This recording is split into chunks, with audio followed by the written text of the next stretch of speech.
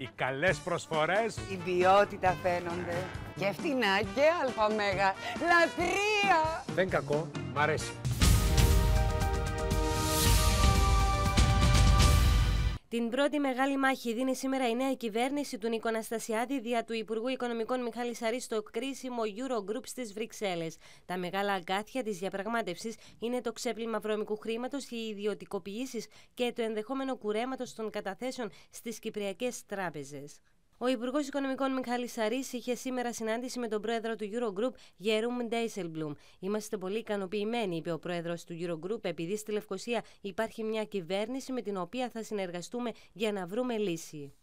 Επίγει η υπογραφή του μνημονίου, η οποία έπρεπε να γίνει εδώ και μήνες, δήλωσε ο πρόεδρος του Εθνικού Συμβουλίου Οικονομίας Χριστόφορος Πισαρίδης, ύστερα από συνάντηση με τον πρόεδρο της Δημοκρατίας Νίκο Αναστασιάδη.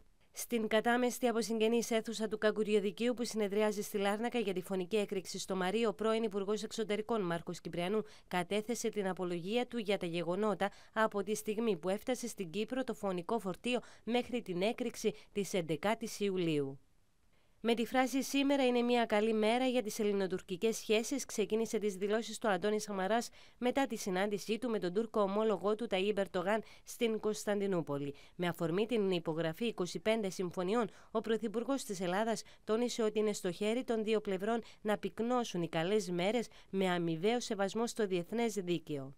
Οκτώ χρόνια κάθερξης κατά συγχώνευση, πρόστιμο 520.000 ευρώ και δίμευση του ακινήτου στη Διονυσίου Αεροπαγίτου είναι η απόφαση του τριμελούς εφετείου κακουργημάτων για τον πρώην Υπουργό Άμυνας της Ελλάδας Άκη Τσοχατζόπουλο για την υπόθεση ανακριβούς δήλωσης πόθεν έσχε.